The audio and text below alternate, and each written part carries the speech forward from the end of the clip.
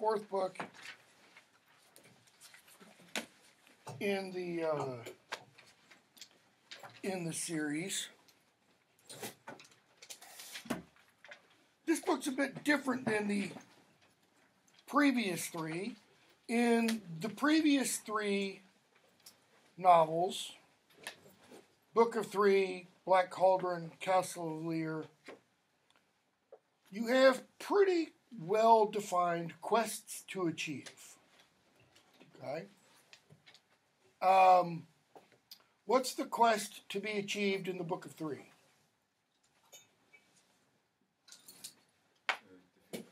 Defeat the Horned King. Okay? What's the quest to be achieved in the Black Cauldron? Obviously. Find and destroy the Black Cauldron. What's the quest to be achieved in Castle Llyr? Rescue our Eilonwy. Okay? I mean, that's not what it is at the beginning. The the in, usually in quest literature, the quest doesn't begin at the very beginning of the novel. The the main character kind of finds him or herself dropped into it along the way. Okay? This one's quite a bit different. Because the quest in this novel is not to rescue somebody, it's not to find something, it's not to do some great heroic deed. What's the quest? It's for Taran to answer the question Who am I? And that question is important because it doesn't just have to do with genealogy. In other words, Taran couldn't, you know, proverbially, call up Ancestry.com or 23andMe, do a DNA test, and that would solve his problems. What's the question really asking? Who am I? Bingo. I'm going to just rephrase that a little. What's my purpose? Is it, as he continually keeps coming back to in the first three books, is it to be an assistant pig keeper? Is it to be, as Eilonwy says, if it is to be an assistant pig keeper, to be the best assistant pig keeper there is? And is there anything wrong with that? Answer the second part first. No, there's nothing wrong with that. Okay? But Taran feels like there's something more. So, this novel, this one opens. It's springtime. We're told promise of the richest summer to come. Orchards white with blossoms. The newly planted fields lay light as green mist, meaning there is just a shimmer of green, like like just the beginning of the shoots are coming out of the ground. Okay? In other words, these til- these fields have been well tilled. Okay? And Taran's not happy though. Something's bothering him. And Coll says, well, I know what it is. It's because you're pining over Eilonwy. It's because Eilonwy's not here. Taran says, no, that's not it. What I want to know, only Dallben can tell me. He goes, I, I wouldn't trouble Dallben. You know, he's kind of a cantankerous old snot. You best leave him alone. His disposition rubs a little thin, Coll tells him on page four. But Taran goes on. He makes his way through the cluster of buildings and such, and we see right in the middle of page four the once haughty queen had accepted the refuge Dallben offered. Remember, Gwydion said at the end of the previous novel, I'm sure if you were to find your way to Caer Dallben, Dallben would give you a place to live. Once haughty queen, now what? By her own choice. She who had long ago ruled Prydain toiled now at the tasks Eilonwy had done before departing for Mona. So what's happened to Achren? Previously, not that we've seen, before the opening of the first novel, many, many years in the past, she ruled. She was queen of Prydain. And now, what does it mean? She's doing the tasks Eilonwy used to do. What task did Eilonwy do? Scullery. Scullery maid. She washed dishes. She probably went and gathered eggs in the morning. In other words, a farmhand. Okay. Notice that's not any lower, quote unquote, than Taran being an assistant pig keeper. They're equally low in, in terms of social status according to one's job, if you want to count social status that way. Okay? Taran goes to Dallben's chamber because you know he just he just he can't stop himself. He's got to find out. And Dallben says, "I never cease to wonder that the young, with all their pride of strength, should find their own concerns such a weighty burden they must be shared with the old." What's he mean? Now what do you want? Come on. But he says, but before you say anything, Eilonwy's fine. Caw hasn't returned yet. He's taken my potion to Glew's ta- cavern. That is, Glew should be reduced in size now. What is Dallben telling him? Well, the answers to some of his questions. What about Glew? Have you taken care of? So, he says, You've got plenty of jobs to keep you busy, so why are you here? One thing only. Just answer this one question. All that I have I owe to your kindness. You have given me a home and a name, and let me live as a son in your household. Yet who am I in truth? Who are my parents? You've taught me much, but kept this always from me. Dallben. Since it's always been this way, from as long as you can remember, he implies, why does it bother you now? That is, why didn't you ask me this question seemingly two years ago, four years ago, etc.? Come on, speak up. Because Taran bows his head, doesn't want to answer. If you want truth, you should begin by giving it. That is, tell me really why you want to know. Dallben knows why he wants to know. So why is he making Taran say it? So Taran will admit it to himself. So Taran will kind of confess it. He'll own up to it. Come on. And he tells us behind your question, I see the shadow of a certain golden haired. Notice he doesn't say golden haired farm girl, golden haired girl, a golden haired princess. What does Taran understand about princesses? Royal blood, keep going. If they're going to marry, they marry someone of royal blood also. Or royal worth, possibly. Okay?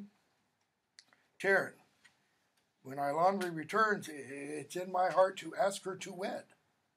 Now, we don't know exactly how much time has passed between this novel and the previous one. Okay? But I think it's fair to say minimum of a year, maybe more. So by this time, depending on how old he was in the first novel, I don't think he was 8. He might have been 10, 11, 12. If he was 12, then between the first novel and this one, he could now be 16, 17. Agrarian, non modern, non technological society, marrying at 16 is not an issue. Some of you probably have grandparents, great grandparents, great great grandparents that got married at that age. Okay? This I will not do until I learn who I am. That is, but I'm not going to pop the question until I know who I am. An unknown foundling with a borrowed name cannot ask for the hand of a princess. Borrowed name? What part of his name is borrowed? Of Caer Dallben. He's Taran of Caer Dallben. He's not even Taran of Dallben. Taran, adopted son of Dallben. He's just Taran, I live at Dallben's place. Okay? What is my parentage? I cannot rest until I know. Am I lowly born or nobly? what does he mean by nobly, other than royal? I think we all understand. He means royal. But what does he really mean by noble birth? Respected. Respected?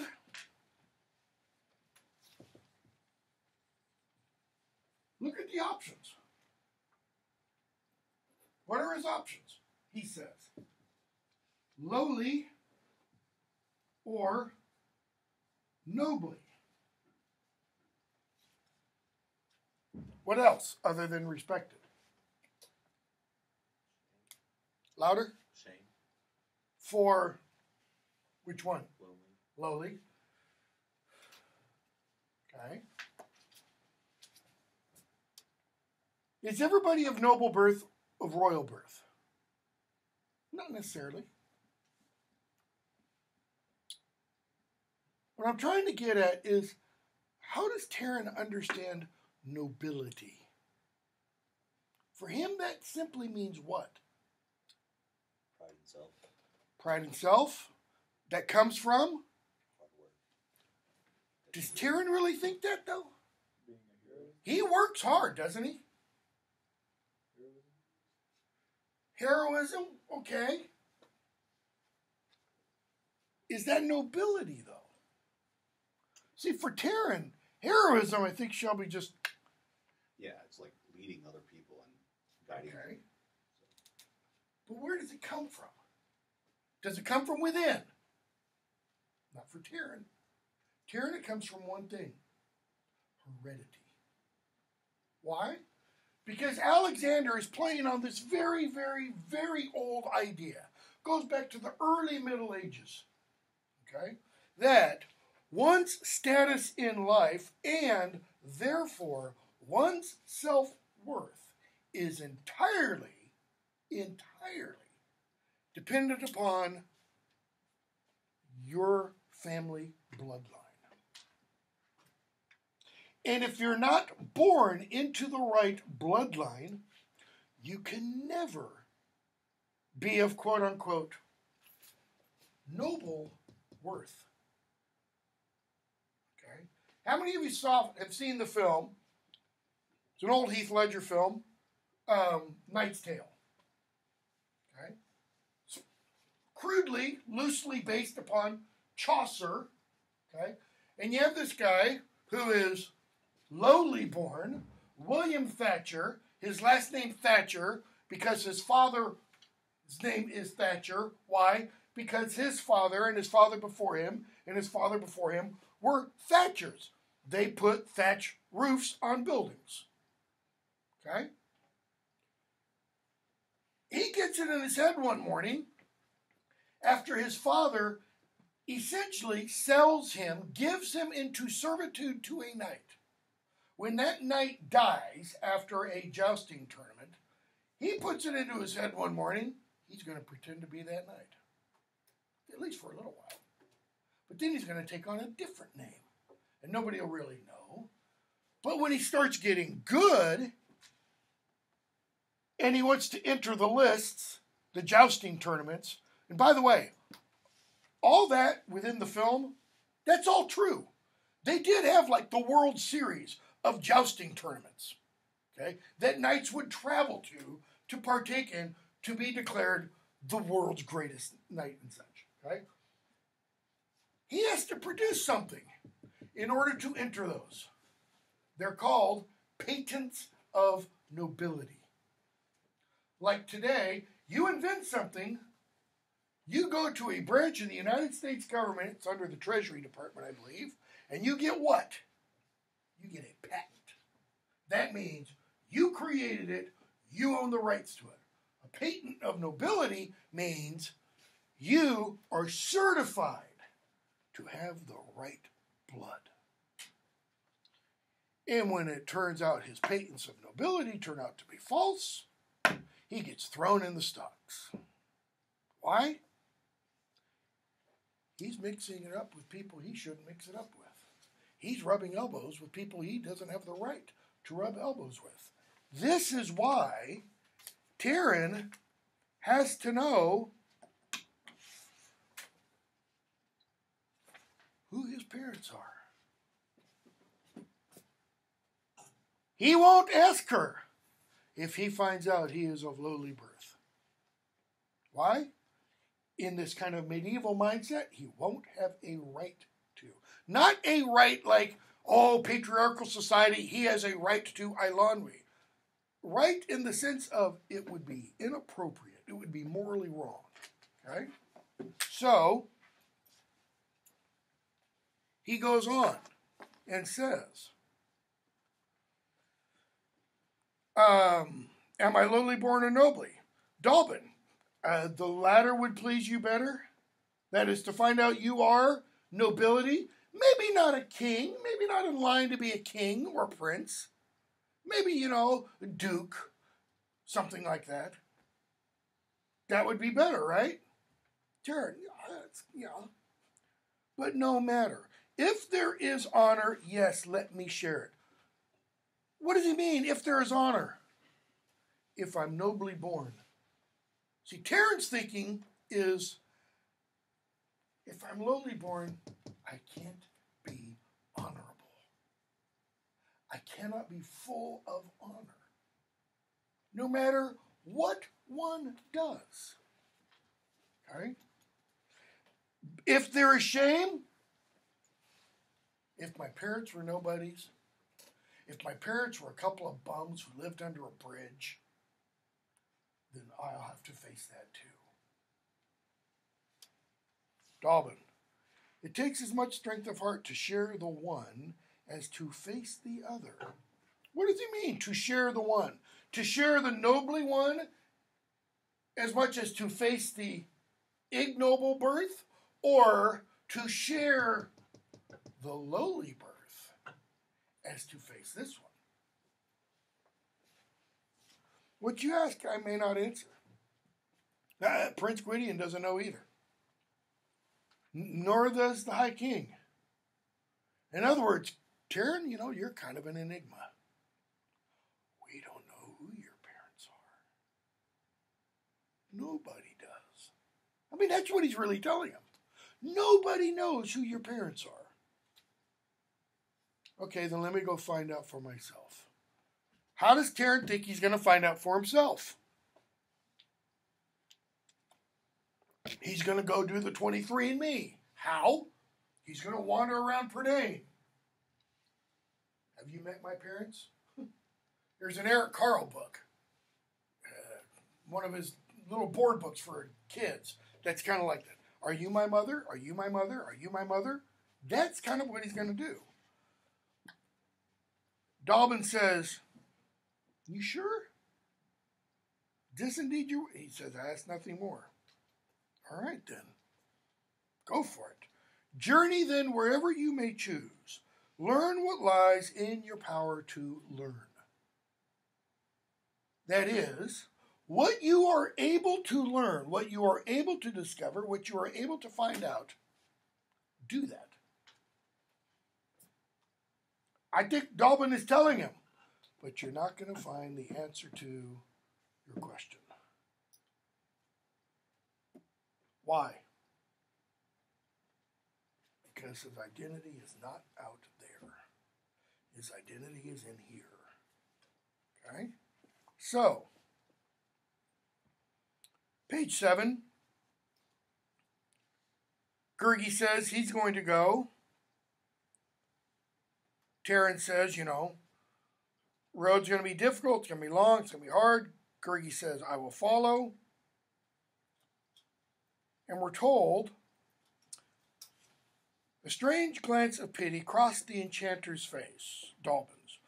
Gurgi's staunchness and good sense I do not doubt, he said to Taran, though before your search is ended, the comfort of his kindly heart may stand you in better stead. If Gurgi wants to go, you should let him go.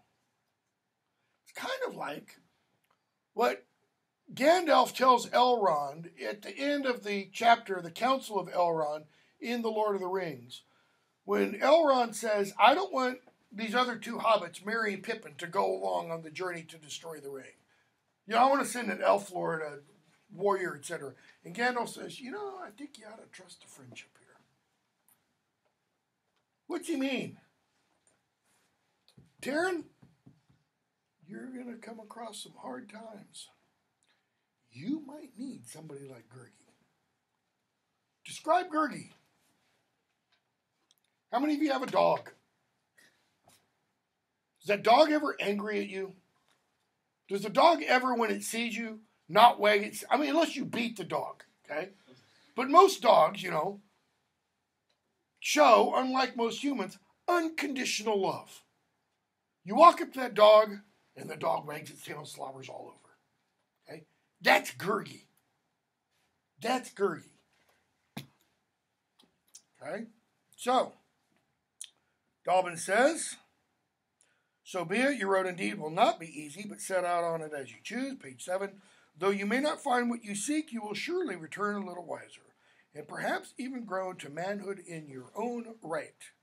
That is, without the aid of Gwydion, okay, you're going to grow into a real man when you do this journey. So, Taran gets up early before dawn the next morning. Why? Because he wants to get out of there before anybody can make a fuss. And there's Coll, and there's Dallben, and even Achren is there. And we're told, towards the bottom of page 8, Dallben had hobbled into the dooryard. Beside him, Coll raised a torch. The old warrior's face was filled with fond concern. Okay. Gurgi's there, says, I'm going to follow. And they head off to the marshes of Morva. Okay. Page 10. Taran and Gurgi are talking. Gurgi doesn't want to go to the marshes of Morva. Why not? What did they talk about doing to them last time they were there? Turning them into frogs and such. Okay? But Taran says, but I will face them again. Top of page 10. Nothing is hidden from them, all secrets are open. Okay? It may be true, may not, we have to find out. But what do they do with secrets? They trade. You want an answer to a question? You got to give them something. They would know the truth. Could it not be, could it not be that my parents were of noble lineage and for some secret reason left me with Dallben to foster? Gurgi, kindly master is noble. Noble, generous, good. To humble Gurgi. Notice there, what Gurgi's doing is Gurgi is labeling or listing three virtues noble, generous, and good. But I think what Gurgi might also be doing is he might be using those second two virtues to describe the first one. That is, he might be saying, Master, you are noble. Why? Because you're generous and you're good. Okay? Giving us qualities of nobility. You don't need to ask enchantresses. In other words, you don't need to go somewhere else to find out if you're noble. Taran, I speak of noble blood. Notice, Gurgi remembered, lost the wisdom of the animals and hasn't yet gained the learning of humans. Maybe he's gained more wisdom than a certain farm boy. Okay? So, they make their way off. And page 12.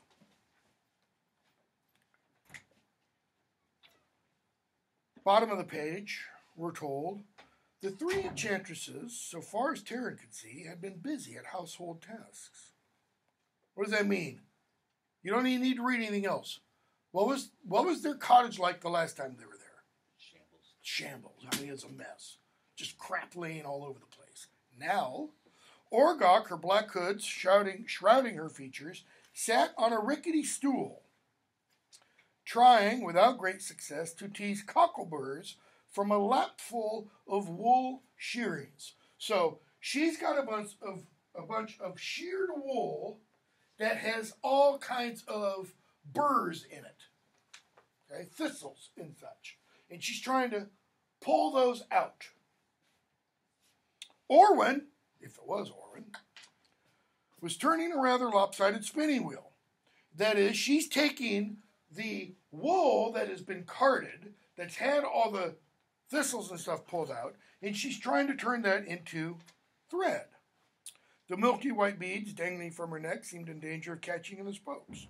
Orddu herself, he guessed, had been at the loom that stood amid piles of ancient rusted weapons in a corner of the cottage. Notice the weapons are rusted. That is, they're no longer useful. The work on the frame had gone forward somewhat, that is, from the last time Taran was there. So he recognizes they haven't finished what was on the loom before. But what was on the loom before is now completed a little bit more. Knotted, twisted threads straggled in all directions. And what looked like some of Orgoch's cockleburs were snagged in the warp and weft. Taran could make out nothing of the pattern, though it seemed to him, as if by some trick of his eyes, that vague shapes, human and animal, moved and shifted through the weaving. Now, why might he not be able to make out a pattern? Possibilities. I'm not ask, I'm not looking for definitive answers.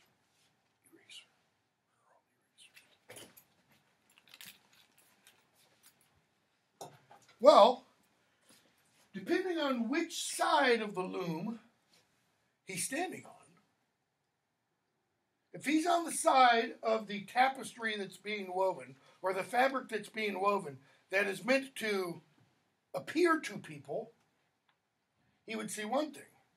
If he's on the other side, what's all he's going to see? Chaos. Take look at a rug. You know, a rug that's woven with an image. You've got the top side, the image is clear. You look at the underside, it's nothing but a bunch of knots and loops and stuff. Okay? That's one possibility. What's another possibility?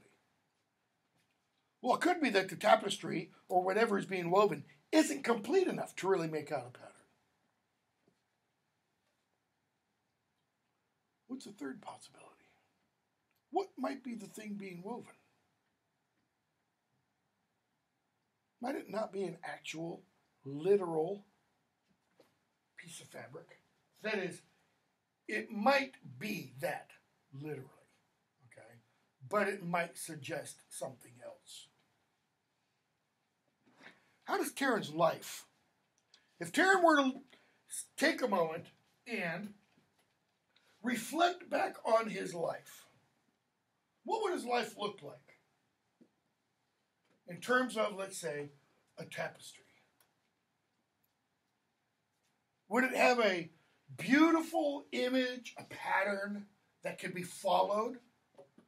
Would it look like a, you know, a Rembrandt painting or would it be more like a Jackson Pollock? Somebody comes in with a bunch of cans of paint and just starts, you know, splattering stuff. It'd be more of that. Okay. So, we're told, bottom of 13, Terence starts talking to them. And Orddu says, You are the boldest of bold goslings. Few in Prydain have been willing to brave the marshes of Morda, Morva, and no one has dared to come back a second time. And yet here you are. So what does that tell us? Just that. Tell us about Taran. Does his bravery exceed everybody else's? Or is he just a damn fool and doesn't know any better? You alone have done so. Orwen says, Oh, he's a brave hero. Well, isn't that what he's wanting to be? Orddu, don't talk nonsense, Orwen. There are heroes and heroes. I don't deny he's acted bravely on occasion. He's fought beside Lord Gwydion and been proud of himself as a chick wearing eagle's feathers. That is, he's kind of puffed up himself because he's fought beside the, the prince. But that's only one kind of bravery. He is the darling, has the darling Robin never, uh, excuse me, ever scratched for his own worms. What does that mean? Has he ever had to fend for himself? I mean, usually he's at Caer Dallben, right? Caer Dallben provides his resources. When he's been out on quests, he's been with others, right? He's been with Eilonwy, he's been with Fflewddur, he's been with Doli, he's been with Gwystyl, he's been with Gwydion. There's always been somebody else. Okay? That's bravery of another sort. And between the two, fighting alongside Gwydion and being totally alone, he might find the latter shows the greater courage. That is, moving out, so to speak. Taking, you know, the horns of life with his own two hands. So they continue talking. And in Taran says, Your concern is with things as they are, and with things as they must be. Page 14. I believe you know my quest from its beginning to its end, and that I seek to know to learn my parentage. That is, you knew I was going to come here. You know what it is I'm seeking. She says, Oh, parentage, easy. Choose any parents you please. Since none of you has ever known each other, what difference can it possibly make to them or to you? Believe what you like. You'll be surprised how comforting it is. Just just pick one parent, Taran. Say Dallben's your parent, you know. He said, I don't want comfort. What's he want? He wants truth. Be it harsh or happy finding of that, nothing is harder. At the end of the first Harry Potter novel, Harry says, I want the truth. Why is Lord Voldemort out to kill me? And Dumbledore says, kind of like, darn. First question you ask, and I can't answer it. The truth, a beautiful and terrible thing. And therefore you have to deal with it delicately. But I won't lie to you, Harry. I'm just not going to tell you right now. I'll tell you later. Okay? So, they talk about turning him into things. And Taran, page 16, says, Will you tell me what I ask? If not, we'll go our way. Don't take offense, okay? So, Orddu says, You shall know all you seek to know once we settle on the price. Since what you ask is of such importance, the cost is going to be high. I'm sure you thought about it. Jared's like, yeah, I've thought about it. So they ask him, hmm, a little golden haired girl. She's a pretty little creature, middle of 17. How delightful it would be to take her memories, spread them out, and look at them during long winter evenings Taran, even you would not be so pitiless. Really? like, is that a challenge, you know?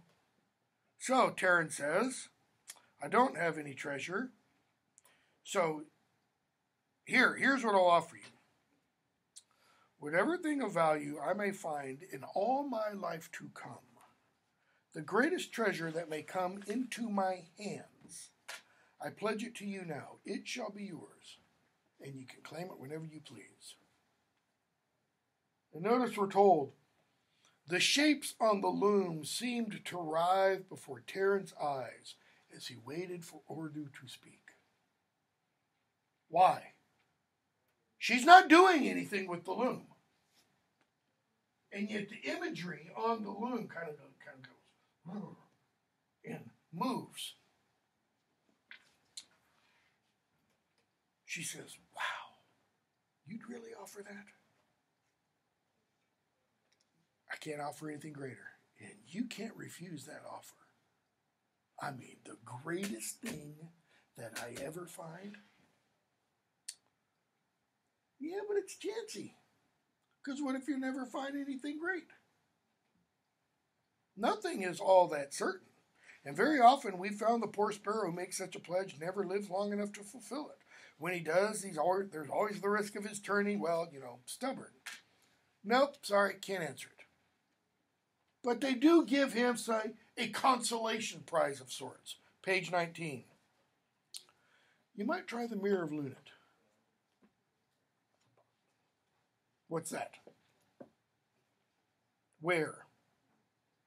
Yes, perhaps if you looked into the Mirror of Llunet, it would show you something of interest. Taran, where? Too far, but go ahead, stay here. You know, stay here and get tangled up with us, etc. So they tell him in the Llawgadarn Mountains. Okay, if you have your book, so Taran has left from over here. He's come across to the marshes of Morva, and now they're telling him he's got to come up here to the Llawgadarn Mountains. So he's pretty much traversing all of Prydain.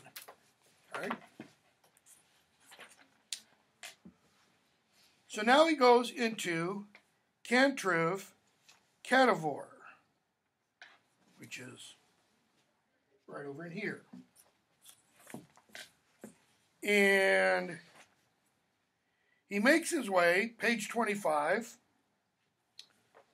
He gets grabbed by a shoulder, uh, by a strong hand, and he meets a man who tells him, I am Aeddan, son of Aedd, or Aeddan, son of Aedd, I can't remember how it's supposed to be pronounced.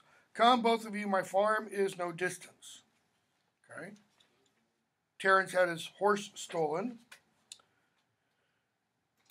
And he says, I, I can't fulfill my quest if I don't have a horse. So he goes off to Aeddan's farm. And what are we told?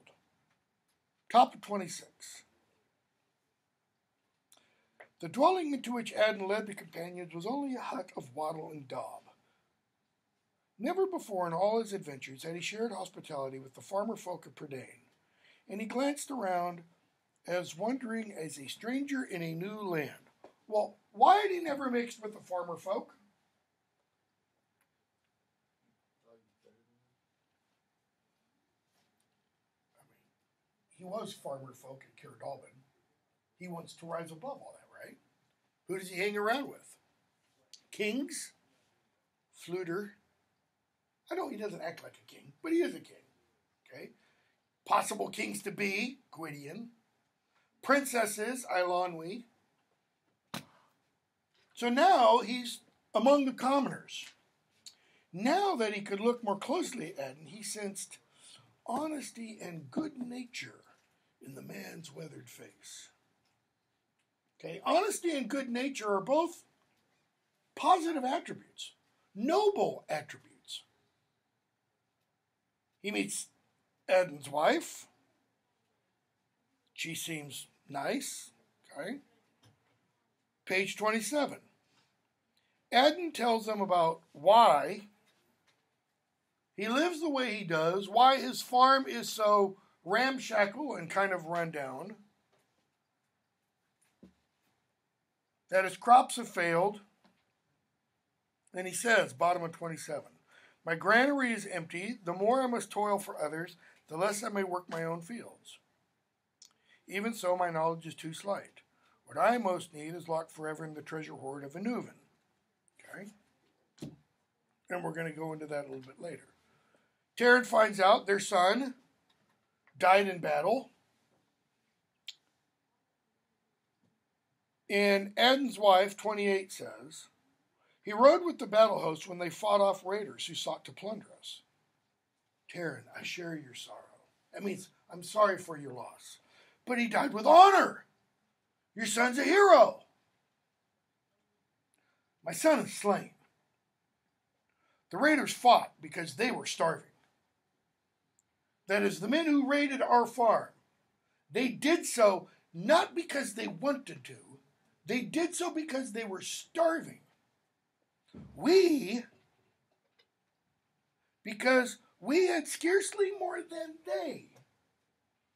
They came to us, they came to raid us because it's like we had two loaves of bread and they had one. And at the end, all had less than when they began. What's your point? Don't talk to me about honor because my son is dead. So, Aeddan says, All save one of my fields lies fallow. Fallow means it's no longer producing. He's just letting the field proverbially go to seed. Whatever will grow will grow, and maybe in a couple years, if he has the ability, he will try to retill. When my wife and I could no longer pull the plow ourselves, I broke the earth with my own hands and sowed it grain by grain. Remember Adion's statement? There is more honor in a field well tilled. He tilled it with his bare hands. Okay? We'll stop there and pick up at that spot on Monday.